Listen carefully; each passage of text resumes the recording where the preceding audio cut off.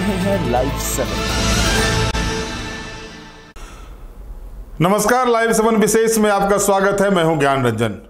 दोस्तों, विशेष में आज हम चर्चा करेंगे एक बार फिर ढुल्लू महतो के सरजू राय पर बिगड़े बोल। दोस्तों, लगातार आप देख रहे हैं कि जब धनबाद लोकसभा का चुनाव होना था और उस समय सरजू राय ने बगावती तेवर अपनाए थे, ढुल्लू के खिलाफ मोर्चा खोला था तो उस समय भी कई तरह की चीज़ें आपको देखने को मिली थी ढुल्लू वर्सेस सरजू राय। और फिर एक मर्तबा अचानक जो है सो वैश्य समुदाय के कार्यक्रम में शामिल होने के लिए ढुल्लू महतो जमशेदपुर पहुँचते हैं। और जमशेदपुर पहुँचने के बाद उन्होंने जमकर सरजू राय के खिलाफ आग उगला। और ऐसे ऐसे बातें कही, जिस बातों को लोकतांत्रिक प्रक्रिया में अगर आप लोकसभा या विधानसभा की कार्रवाई कभी देखते होंगे तो उसमें ऐसे शब्दों को स्पंज स्पंज करा दिया जाता है या फिर ऐसे शब्द नहीं बोलने तक की हिदायत दी जाती है। इस तरह की चीज़ें ढुल्लू महतो ने सरजू राय के खिलाफ कही। और भी कई बातें कही। जातिगत आरोप की वैश्यों को, हरिजनों को, आदिवासियों को सरजू राय देखना नहीं चाहते। ये कई तरह की चीज़ें, कई तरह के आरोप दुष्ट व्यक्ति हैं, या और भी जो चीज़ें मैं कह नहीं सकता, मैं आपको सुनाता हूँ पहले कि सरजू राय के बारे में। ढुल्लू महतो ने क्या कहा? खास करके उनके बारे में विशेष रूप से चर्चा करने के लिए आया हूँ अपने बीच में, और उस बात को भी मैं आपके माध्यम से क्षेत्र की जनता के सामने जन जन तक पहुँचाने का मैं प्रयास कर रहा हूँ कि हमारे सरजू राय जी झारखंड प्रदेश के एक अपने आप को ईमानदार और स्वच्छ छवि के नेता बताने वाले। इनसे भ्रष्ट और इनसे करप्ट, इस धरती पर कोई नेता हो ही नहीं सकता। क्योंकि लगातार जब से हमारा ज्ञान है और हमें राजनीतिक क्षेत्र का भी ज्ञान है, सामाजिक क्षेत्र का ज्ञान है, धार्मिक क्षेत्र का ज्ञान है, कभी भी धर्म और सत्य पर चलने का प्रयास इन्होंने नहीं किया। सदैव अधर्म और पाप के रास्ते पर चलकर, सत्य के रास्ते पर चलने वाले लोगों को परेशान करने का काम किया है इन्होंने। और इसका जवाब बहुत जल्द इनको मिलने वाला है। और प्रभु ने चाहा तो बहुत जल्द जेल भी जाएँगे, इसका बहुत जल्द आपके सामने, इनका सच्चाई सामने आएगा। मैं बताना चाहूँगा कि इन्होंने लगातार, जब से राजनीतिक क्षेत्र में कदम इन्होंने डाला होगा, तब से लगातार ओबीसी, दलित, गरीब, पिछड़ा, बनिया वर्ग के लोगों के पीछे लगातार ही पड़ा है। और इसका जीता जागता उदाहरण आप जमशेदपुर में भी देखे होंगे। रांची में भी देखे होंगे, धनबाद में भी देखे होंगे, जहाँ जहाँ पे आर्थिक स्रोत कमाने के लिए इन्होंने लगातार वैसे व्यक्ति को परेशान करने का काम किया है, जो सत्य और धर्म के रास्ते पर चलकर राजनीतिक क्षेत्र में लगातार काम किए एक दिन भी, आप एक भी स्टेटमेंट इनका अपने जीवन काल में दिखा दीजिए। यहाँ के बड़े बड़े माफिया, झारखंड में एक से एक बड़े बड़े माफिया है, जिनका काम ही हत्या करना, रंगदारी सुनना, मर्डर करना, लूट करना बड़े बड़े घटना का अंजाम देना। वैसे लोगों के खिलाफ कभी भी आज तक इनकी क्षमता ही नहीं हुआ कि वैसे लोगों के खिलाफ हम कभी जवाब दें या वैसे लोगों को हम कैसे सजा दिलवाएँ। इस पर कभी भी इसका विचार ही नहीं रहा। इनका विचार वैसे लोगों पर बना रहा, जो गरीब के लिए काम करना दिन रात सहयोग करना, लोगों के सुख दुख में काम करना, दुख में मदद करना, वैसे लोगों के पीछे लगातार ये पड़ा रहा। आने वाला समय इनका ईंट का जवाब पत्थर से देने का काम चुनाव के समय में हमारे जितने भी हर समाज के लोग के साथ साथ खास करके ओबीसी बनिया वर्ग, दलित, गरीब, शोषित, पीड़ित लोग ने इनका असली चेहरा को देख चुका है, समझ चुका है और आने वाले विधानसभा चुनाव में इनका सबक सिखाने काम करेंगे। ये राजनीतिक से समाप्त हो जाएँगे। राजनीतिक क्षेत्र में ऐसा इंसान होना ही नहीं चाहिए ऐसा आदमी होना ही नहीं चाहिए जो सिर्फ़ और सिर्फ़ स्वार्थ के लिए काम करना, व्यक्तिगत लालच, व्यक्तिगत लाभ के लिए काम करना। ये व्यक्ति व्यक्तिगत लाभ के लिए ही सिर्फ़ काम किया है। इसलिए इसका जवाब बहुत जल्द मिलने वाला है। और मैं इन्हें चुनौती देता हूँ। ये तो बोलते हैं हम झारखंड के बहुत ईमानदार और निष्ठापान नेता हैं। ये तो वहाँ से भागे धनबाद से। धनबाद से मैंने तो चुनौती दिया था कि धनबाद लोकसभा चुनाव लड़ने के लिए बहुत इच्छा ज़ाहिर किए थे। हमने तो स्वागत किया था इनको। मगर इन्होंने हिम्मत जुटा नहीं पाई। भ्रष्ट व्यक्ति वो सिर्फ़ ब्लैकमेलिंग करने के लिए काम करते हैं। ये कारपोरेट लोगों को भी ब्लैकमेलिंग करने का काम करते हैं। बड़े बड़े अपने एक भी जनहित का मुद्दा कभी इन्होंने कभी क्वेश्चन किया ही नहीं है। ये सिर्फ़ बड़े बड़े उद्योगपति के खिलाफ पीछे पड़ना बड़े बड़े काम फैक्ट्री के पीछे पड़ना बड़े बड़े कल कारखाना के पीछे पड़ना, कभी एक फैक्ट्री लगाने का प्रयास नहीं किया कि यहाँ पे उद्योग लगना चाहिए। जमशेदपुर, झारखंड, धनबाद में कहीं उद्योग लगना चाहिए, इसका एक भी क्वेश्चन आज तक नहीं किया हुआ मैं भी लगातार बाघमारा विधानसभा क्षेत्र से तीन तीन बार विधायक रहे। वर्तमान में आप लोगों का कृपा से, प्रभु श्री राम जी के आशीर्वाद से धनबाद से हम सांसद बने और इतने कम उम्र में, लगभग 48 ईयर्स हो रहा मेरा, और तीन तीन बार विधायक बन गए और सांसद बन गए। यार इन्होंने तो पूरा जीवन अपना लास्ट अंतिम है, अब कब्र पर इनका पैर जाने वाला है। उसके बाद भी गलत और पाप करने के लिए छोड़ा नहीं। इसलिए मैं क्षेत्र के तमाम जनता झारखंड वासियों से आग्रह करना चाहेंगे, खास करके ये चुनाव लड़ने जा रहे हैं जमशेदपुर कहाँ से लड़ेंगे उन सभी तमाम भाई बहनों से मेरा आग्रह होगा कि ऐसे दुष्ट को सर्वनाश होना चाहिए नाश होना चाहिए और ऐसे लोगों को जवाब ज़रूर अब मिलेगा।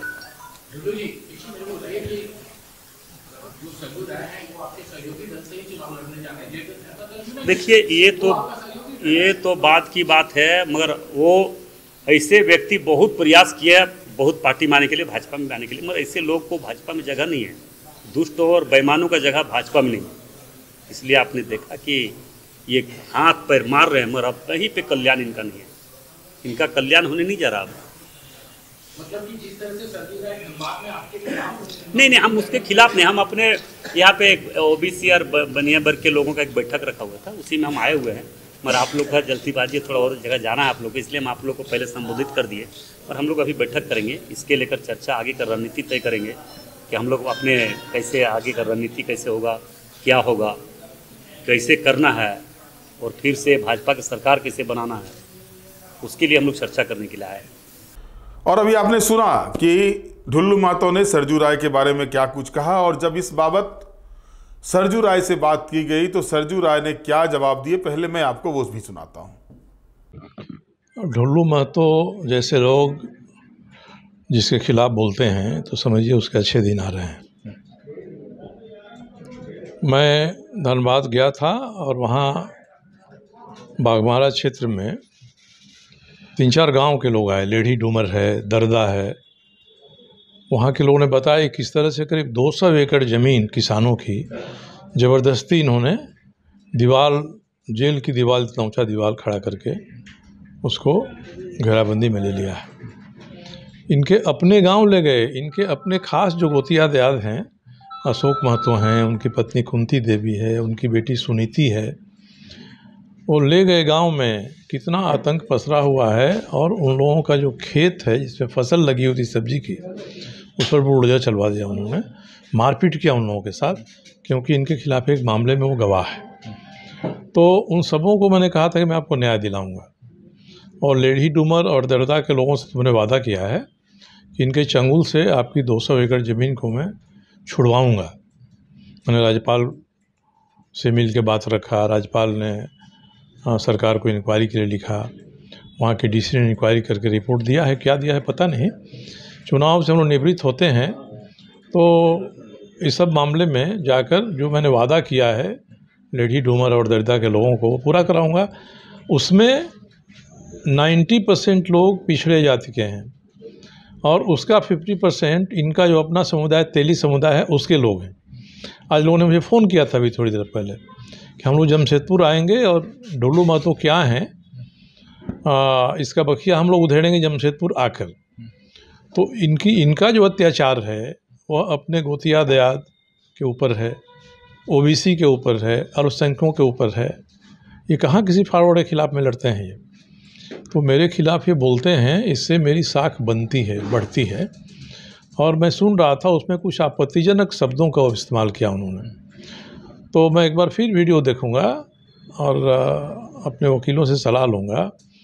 तो कल परसों मैं उनको एक नोटिस भिजवा दूँगा कि क्यों नहीं आपके खिलाफ में एफआईआर दायर किया जाए इस तरह के शब्दों का प्रयोग के लिए।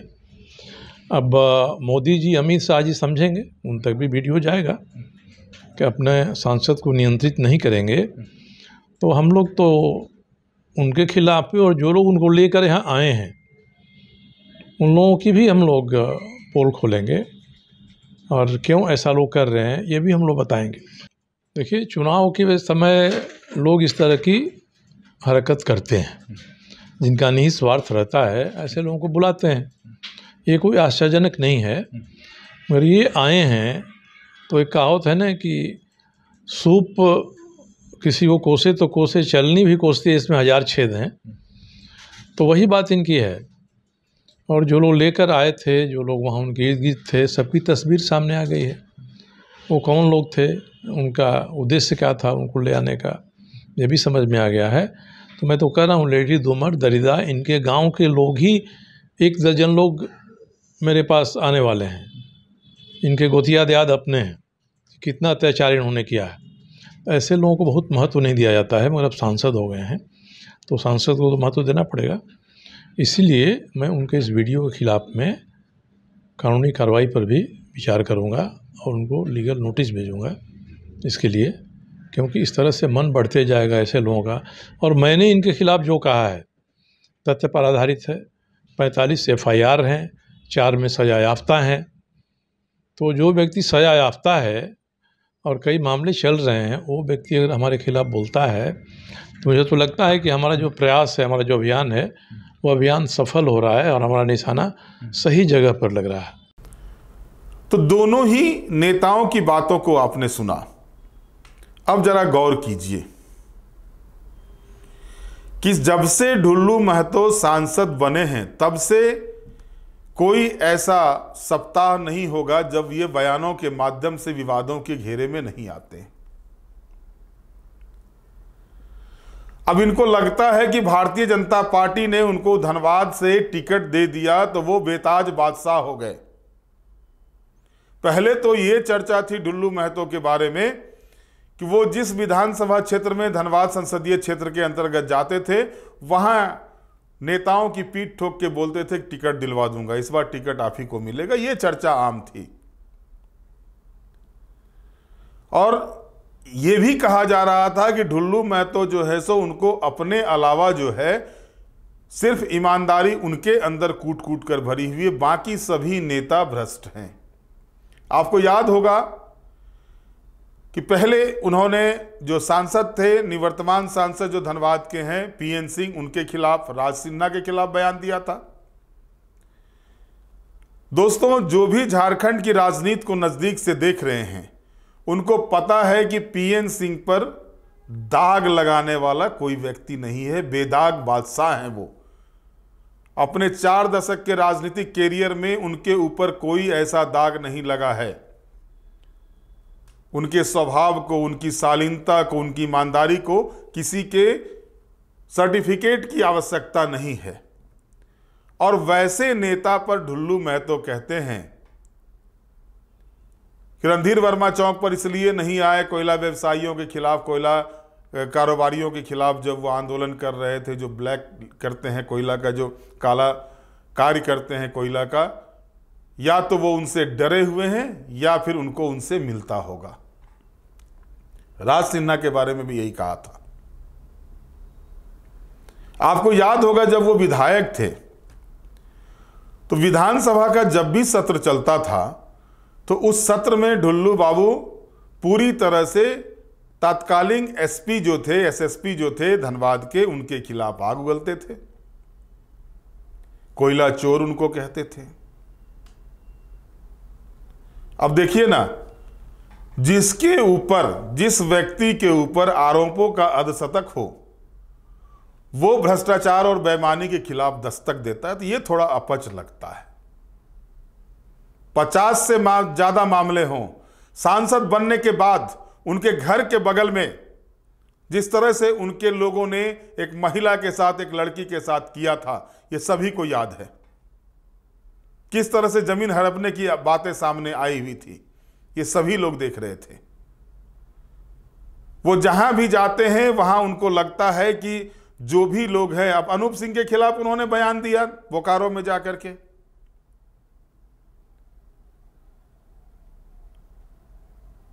राजनीतिक प्रतिद्वंदा है। अनूप सिंह क्या करते हैं, सबूत है, उसको उजागर कीजिए। लेकिन आपको यह भी जवाब देना होगा कि जो 50 से ज़्यादा केस आपके ऊपर लदे हुए हैं, वो किस मामले में हैं? क्या झारखंड आंदोलन के केस हैं? क्या वो मामले जो हैं, आपने जो है सो जनता की आवाज़ उठाने के लिए मामले लिया था? क्या बमबारी जनता की आवाज़ के लिए किया जाता है? लोगों की पिटाई आपके कार्यकर्ताओं के द्वारा जनता की आवाज़ के लिए किया जाता है और भारतीय जनता पार्टी चुप है। सबसे बड़ी बात यह है कि वैसे नेता पर सरजू राय की बात तो बाद में करें। पीएन सिंह जैसे नेता पर जो प्रदेश अध्यक्ष रह चुके हैं भाजपा के तीन तीन मरतबा विधायक रहे तीन तीन मरतबा सांसद रहे, राज्य में शिक्षा मंत्री रहे, उद्योग मंत्री रहे हैं। और उनके बारे में बोलने के बाद भी भारतीय जनता पार्टी के लोग, जो संगठन में बैठे हुए लोग हैं, वो कोई किसी तरह की बातें, किसी तरह की कार्रवाई उनके ऊपर नहीं करते। अपनी टाइगर सेना चलाते हैं। देश में एक ही सेना आज तक तो मैंने जो पढ़ा था, जल सेना, थल सेना और वायु सेना, और तीनों के तीनों के प्रमुख होते हैं राष्ट्रपति महोदया। और यहाँ एक टाइगर सेना चलती है धनबाद में। उस टाइगर सेना के प्रमुख हैं ढुल्लू महतो कहाँ से यह टाइगर सेना चल रही है? कहाँ से अस्तित्व में आया ये टाइगर सेना का? क्या देश से इतर भी सेना तैयार किया जा सकता है? और वो चल रहा है। वर्षों से चल रहा है धनबाद में। कल के बयान में ढुल्लू महतो ने एक बातें कही कि रिकॉर्ड मतों से चुनाव जीता। ढुल्लू जी भूल गए, बागमारा विधानसभा के चुनाव 700 कुछ वोटों से जीते थे। यह चुनाव आप नहीं यह चुनाव मोदी जी के नाम पर जीता गया है।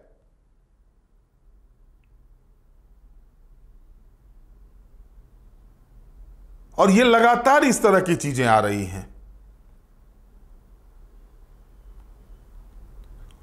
भाजपा ये कहती है कि सब, सभी समाज के सभी वर्ग को लेकर हम समाहित करके चलते हैं। और खुलेआम उनके सांसद जो हैं सो, जातिवाद की बात करते हैं और उस पर कुछ बातें नहीं होती है। ये स्थिति बनी हुई है।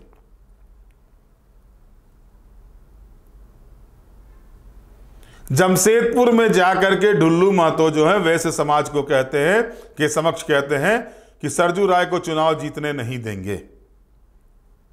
ये अलग विषय है। आपके, आप मज़बूत होंगे, आप जाइए, काम कीजिए। चुनाव उनको नहीं जीतने दीजिए।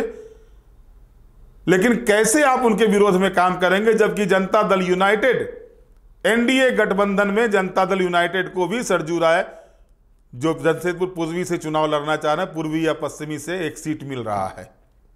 आप रोक लेंगे।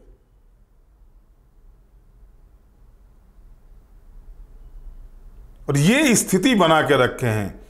जिस जगह जहाँ के पुलिस पदाधिकारी कार्रवाई इनके खिलाफ करते हैं, वो भ्रष्ट हो जाते हैं।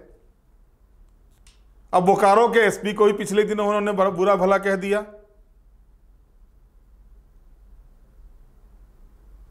माननीय होने का यह मतलब नहीं होता है कि आप जो चाहें, जैसा चाहें डंटा हाँकते रहें।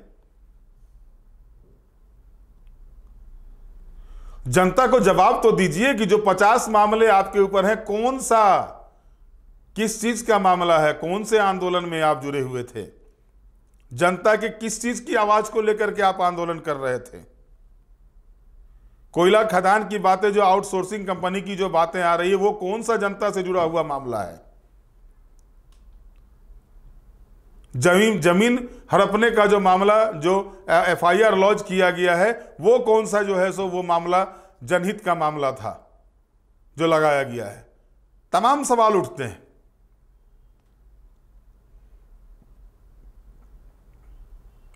बहरहाल, अब सरजू राय कोर्ट में जाने की बात कर रहे हैं। देखना है सरजू राय आगे क्या स्टेप उठाते हैं, लेकिन दोस्तों, चारा घोटाला का उजागर करने वाले भी सरजू राय ही थे। मधु कोरा कांड का भी उजागर करने वाले सरजू राय ही थे।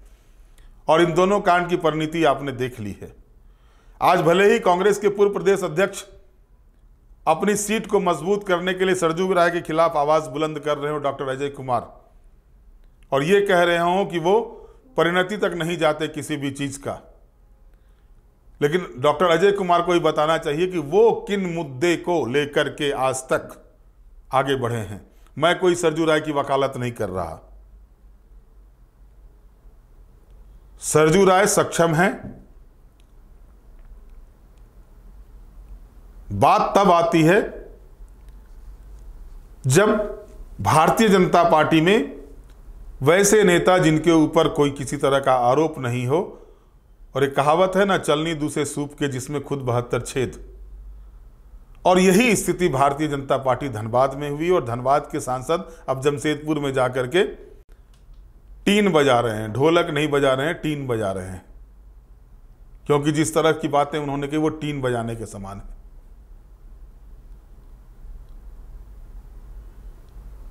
और ये नया नहीं है।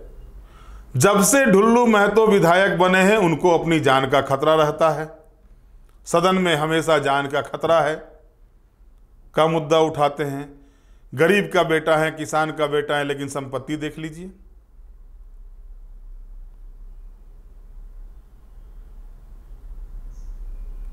ये तो राजनेताओं की एक फितरत हो गई है कि मैं गरीब का बेटा हूँ, किसान का बेटा हूँ, लेकिन अरबों की संपत्ति रखता हूँ।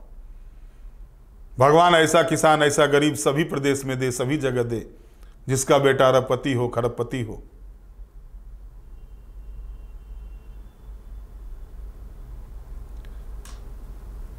और ये स्थिति चलती है, और ये स्थिति सवाल करते हैं, खास करके भारतीय जनता पार्टी जिसकी एक विचारधारा है, लोग उसके विचारधारा से जुड़े हैं और विचारधारा का ही परिणाम था कि झारखंड में एक मर्तबा जो है 25 लाख से ज़्यादा लोग भारतीय जनता पार्टी में सक्रिय थे।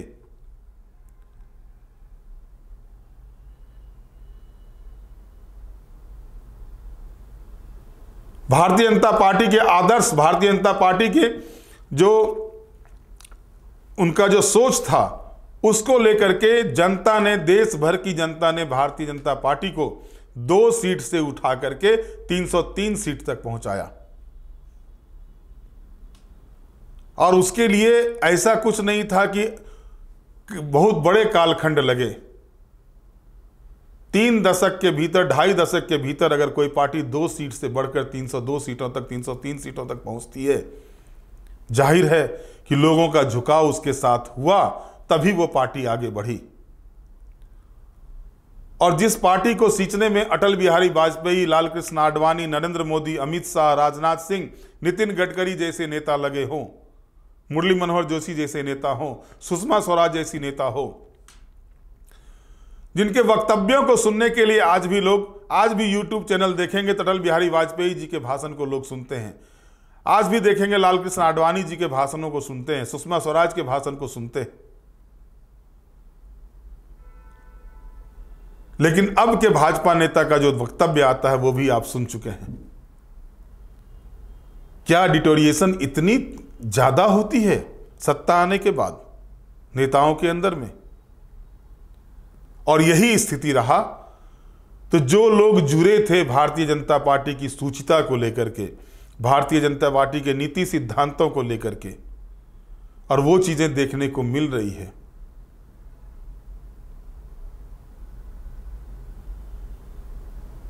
और ये लगातार हो रहा है। अब ज़रूरत है कि संगठन में बैठे लोग इस चीज़ को देखें। एक और दिल्ली में बैठक होती है गठबंधन करने की। जनता दल यूनाइटेड आजसू और भाजपा मिलकर चुनाव लड़ेगी। और वहाँ दिल्ली में गठबंधन की बात होती है और यहाँ जाकर के ढुल्लू महतो अलग ही राग अलाप देते हैं जमशेदपुर में जाकर के। क्या पार्टी ने इतनी छूट अपने सांसदों, विधायकों को दे दी है कि संगठन से इतर जाकर के वो बातें करें? क्या पार्टी के अंदर ये अनुशासनहीनता का मामला नहीं बनता है? अगर अनुशासनहीनता का मामला बनता है तो प्रदेश संगठन में बैठे हुए लोग अब तक क्यों नहीं कोई कार्रवाई किए हैं?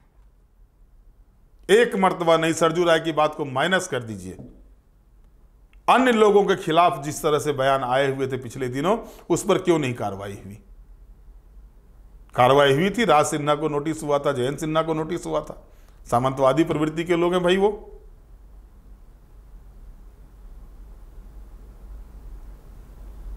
लेकिन ओबीसी हो गए तो भाई हम किसी को भी कुछ कह सकते हैं, उसमें सामंतवादी नहीं आता। क्योंकि मैं ओबीसी हूँ, मैं कह सकता हूँ। और ये चीज़ें जो है सो भारतीय जनता पार्टी के भीतर नहीं थी। मैं भी पिछले 25-30 वर्षों से भारतीय जनता पार्टी को की राजनीति को देख रहा हूँ पत्रकारिता में रह करके। ऐसी स्थिति देखने को नहीं मिलती थी कि जिस नेता को, जिस विधायक को जो मन में आए, जिस मंत्री को जो मन में आए, जिस सांसद को जो मन में आए, वो पार्टी की विचारधारा से अलग जा करके वो बयान दें। कम से कम बाबूलाल मरांडी जैसे प्रबुद्ध नेता भारतीय जनता पार्टी के प्रदेश अध्यक्ष हैं। संगठन का लंबा अनुभव है। शायद झारखंड में कि राजनीति में संगठन चलाने का उतना लंबा अनुभव किसी नेता के पास नहीं है। उम्मीद करते हैं कि बाबूलाल मरांडी जैसे नेता या लक्ष्मीकांत वाजपेयी जी जैसे नेता जो हैं भारतीय जनता पार्टी प्रदेश में, वो इस तरह की चीज़ों पर कम से कम अंकुश लगाएँ ताकि भारतीय जनता पार्टी के विषय में जो लोगों के मन में एक धारणा है, वो धारणा टूटे नहीं। बहरहाल आज के विशेष में इतना ही। आप हमारे साथ जुड़े रहें। हमें लाइक करें सब्सक्राइब करें। बहुत बहुत धन्यवाद। नमस्कार।